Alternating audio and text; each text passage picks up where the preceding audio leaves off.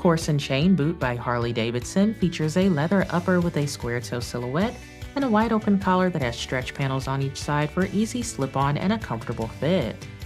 They have an all over worn look to them that adds a nice touch with a large chain detail going over the vamp, adding contrast all while giving you an edgy style.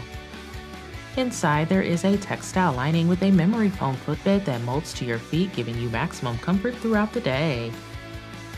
The midsole adds contrast for added style with a sturdy build and reinforced welt stitching for long-lasting durability. You'll also get about a 2-inch boost in height from the stacked heel at the back.